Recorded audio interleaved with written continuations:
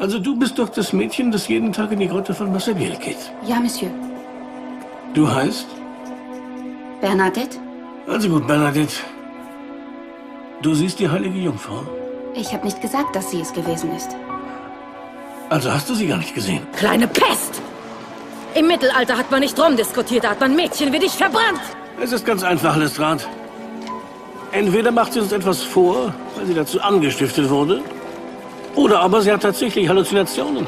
Mein Herz ist bei ihr. Gerade weil ich mir wünsche, dass sie die Wahrheit spricht, unterstelle ich ihr die Lüge. Was reden Sie da, Bouriert? Ich sage Ihnen doch, mein Auge kann sehen, ich bin geheilt. Aber das ist unmöglich. Meine Tochter hat mein Gesicht mit dem Wasser von Massabielle benetzt. Heißt das, Sie glauben an Wunder? Als Mann der Wissenschaft?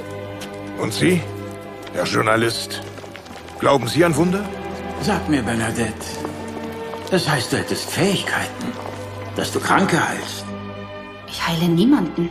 Wird dir klar, welches Chaos du verursachst. Du wirst nie mehr zur Grotte gehen. Doch, das werd ich. Wie war sie gekleidet? Sie trug ein weißes Kleid, ein weißes Tuch und eine Rose auf jedem Fuß. Schwester Marie Bernard, eure Zuteilung ist nach nirgendwo. Aber ihr werdet für die anderen beten. Ich warne euch, Schwester Marie Bernard. Wenn ihr morgen nicht gestorben seid, werde ich euch euren Schleier entziehen. Ihr werdet wohl nie aufhören, Unruhe zu stiften.